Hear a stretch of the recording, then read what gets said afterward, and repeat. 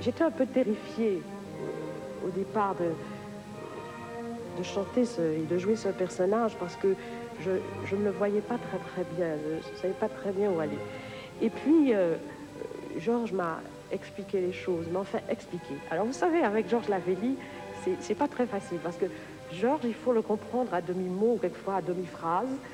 Et, j'ai été, au fond, c'est merveilleux parce que ça vous permet de, participer davantage et de ne pas vous en remettre entièrement au metteur en scène. Et ça veut dire aussi que le metteur en scène vous fait confiance.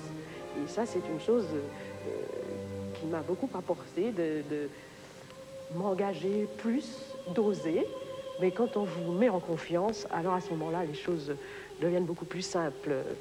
J'avoue que ce rôle a été étonnant et j'ai vécu euh, avec Alcina nuit et jour parce que c'est un personnage vraiment épouvantable et qui à la fin, malgré tout, est racheté par l'amour, je crois.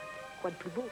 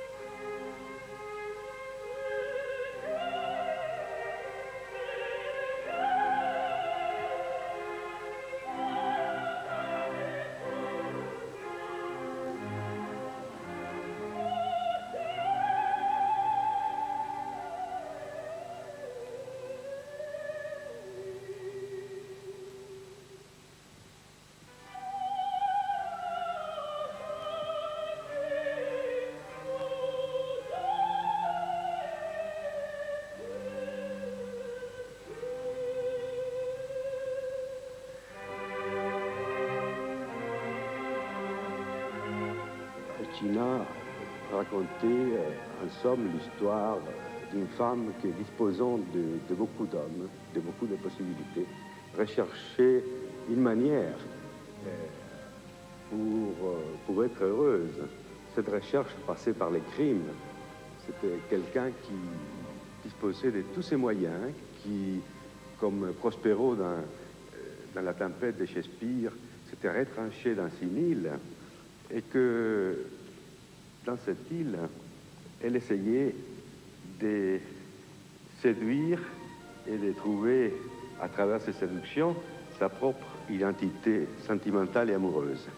Alors, un personnage euh, fantastique, une euh, porte ouverte à l'imagination,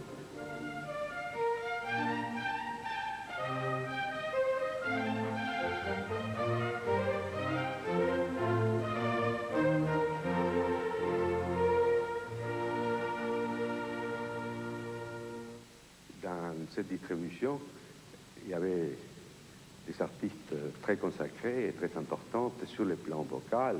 Je pense à Berganza et aussi à Ella Pierre.